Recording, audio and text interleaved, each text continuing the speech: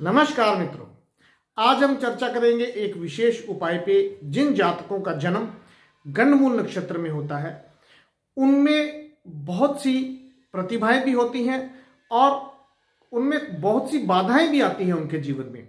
जैसे कि विवाह होने में देरी, बिज़नेस में असफलता या कंपटीशन आदि जो गवर्नमेंट जॉब की तैयारी कर रहे हैं बच्चे, उनके जीवन में बहुत सी बाधाएँ आती हैं। इसके साथ साथ हेल्थ से रिलेटेड समस्याओं के लिए भी गंडमूल दोष जो है, वो देखना पड़ता है कि आपको परेशान कर रहा है या नहीं।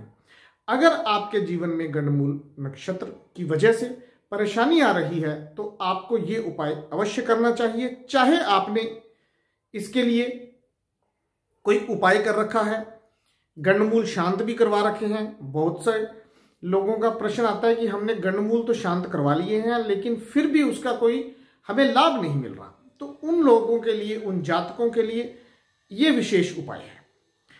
आपने करना क्या है? आपने इसके लिए जो समय चुनना है, वो मंगलवार शाम का चुनना है और बुधवार को ये उपाय करना है। मंगलवार शाम को आपको 11 गोमती चक्कर लाने हैं। नींबू का रस तीन चार ताजे नींबुओं का रस निकाल लें और एक कटोरी में उसे भरकर उसमें 11 गोमती चक्कर डाल दें।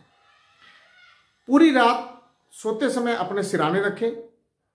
नेक्स्ट डे सुबह बुधवार को उठ करके आपने इन गोमती चक्रों को नींबू के रस से निकाल करके शुद्ध जल से धो लेना है। धो करके इन पर आपने तिलक करना है केसर का।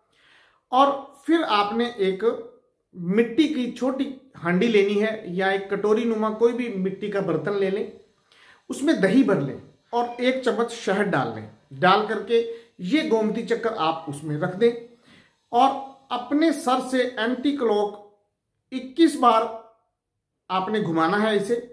ये ध्यान रखें कि घड़ी से उल्टा एंटी क्लॉक घुमाना है। घुमा करके आप जाकर के इसे जल प्रवाह कर दें।